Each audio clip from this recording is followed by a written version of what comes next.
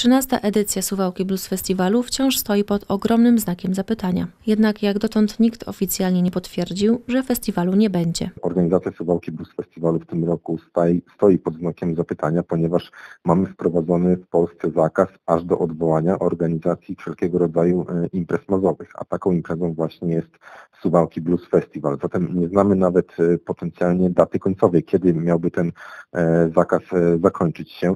My co prawda podejmujemy tutaj jakieś e, działania dotyczące organizacji Suwałki Blues Festiwalu, rozmawiamy z menadżerami różnych e, zespołów, e, podejmujemy kroki, by ten blues zorganizować.